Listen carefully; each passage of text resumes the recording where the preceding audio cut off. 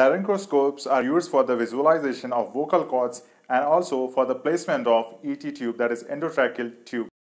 Here the anesthetist is using laryngoscope to intubate the patient.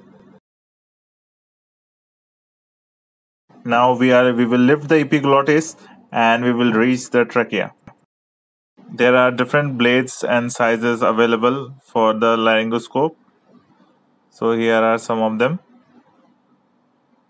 It has a illumination at the front end which helps in visualization of the internal parts. Now we will be seeing in different angles. This is the handle and this is the blade. At this portion the blades are mounted. The battery is in the handle and there is a connection to the bulb at the starting of the blade. This is an ET tube where all the measurements are marked on the tube.